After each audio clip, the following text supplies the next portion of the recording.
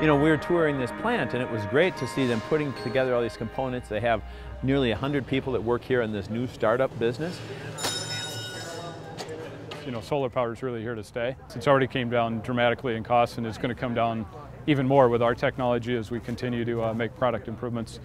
Uh, so given that fact and given the fact that it's a very useful um, way to, to, to produce distributed power, you know, it's going to really see, I think, you know, very, very rapid adoption. It's also all the suppliers that are involved. I think we counted we have 40, more than 40 suppliers in the, uh, uh, in the Minnesota area for individual components that we use in our solar products. Definitely has a very strong waterfall effect for, uh, for creating jobs. We actually send billions of dollars out of state every year to buy energy that, for, that we don't produce here in the state.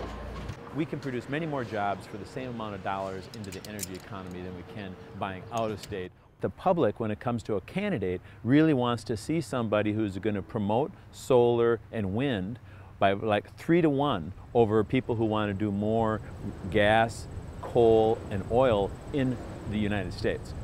We were really impressing upon the people running for office that, you know, if you start talking about going backwards, back to the coal and the natural gas even and, the, and oil, you really are losing the public.